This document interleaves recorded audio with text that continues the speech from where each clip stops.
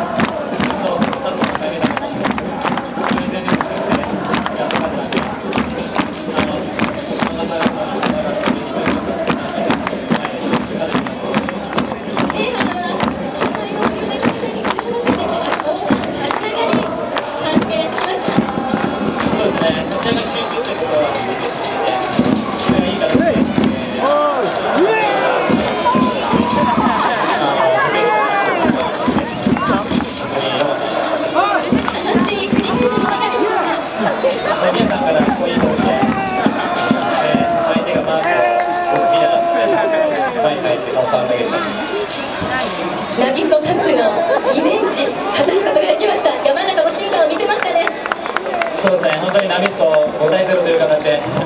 本当悔しい負け方したんで、サポーターも、選手みんなもすごく悔しかったんで、本当リベンジできてよかったなと思います。これで勝ち点も20点台突入しました後半戦につなげていきますえーそうですね、上の方もメールようになってきたんで、このまま勝ちを続けて、えー上位に食い込んでいきたいなと思います。この勝利の瞬間を待っていた大勢のサポーターの皆さんに改めてメッセージお願いしますえいけど、こっちも盛り上がったと思うんで、またこれからも応援よろしくお願いします。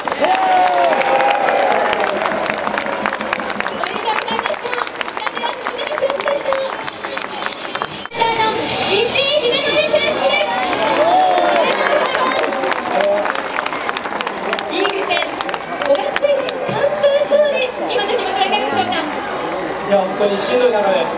勝って最高です。このリベンジマッチ守備においても安定を見せましたそうですね、やっぱり決められる時間がなかったんですけど、みんなで集中して、勝つことができました。後半岩田の徹底的な中でピンチをよく石井選手しのぎま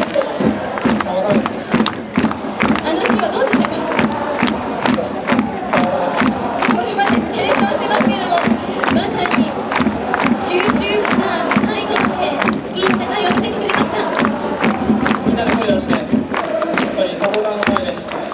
勝ったことが一番良かったです。前半戦勝利で締めくくって後半戦に向けて改めて意気込みを聞かせてくださいそうですね、夏場の暑い中で、